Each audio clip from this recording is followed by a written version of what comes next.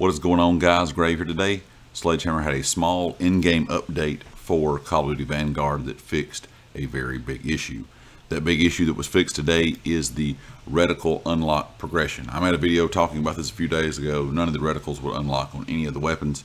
You could look at all the different weapons and not see any of the uh, red dot sights unlocking, no matter what the kind of you know progression had to be done, no matter what it was. They were not working correctly that bug has been fixed and now you will be able to unlock your reticles in game.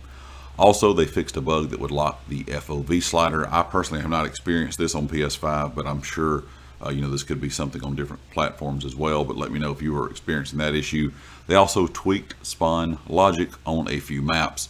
Uh, on the Twitter feed where they released these notes, they did not say what maps that they kind of messed with the spawns on, but they did say they did tweak the spawn logic on some of the maps in game, and they also increased the range threshold for sniper uh, point blank kills and renamed the challenge to close range.